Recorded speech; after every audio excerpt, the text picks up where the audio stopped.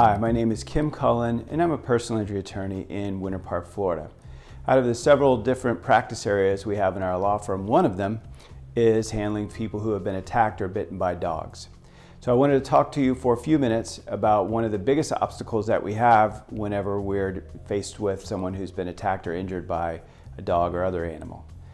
Um, usually these cases are uh, challenging for a number of different reasons. The circumstances of the dog bite and that kind of thing, sometimes those circumstances make it challenging, but the number one challenge that we have in dog bite cases is insurance. And many people who own dogs or have dogs um, don't carry insurance. And without insurance, it makes it very difficult for us to make a financial recovery for our clients.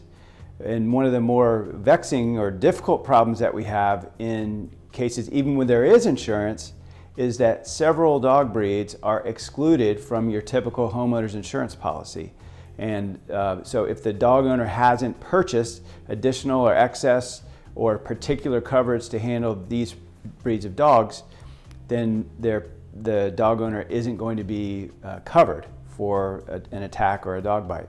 And some of those breeds are Rottweilers, Pit Bulls. I've seen poodles on some of those lists. Akitas, Chows, dogs who have a little bit of a propensity to uh, bite or attack people, dogs that have a sort of a sensitive uh, nature or they're very protective of their uh, owners. They, you know, these tend to be dogs that bite, and insurance companies have all the, the statistics and data about this, and so many times they actually exclude those breeds, specifically exclude them from liability insurance coverage. And it's liability coverage is what we need when we're trying to get compensation for our clients. So if you've been the victim of a dog bite or a dog attack and you have questions about insurance, and inevitably you will because it's a very kind of difficult area in these cases, please call us, we can help.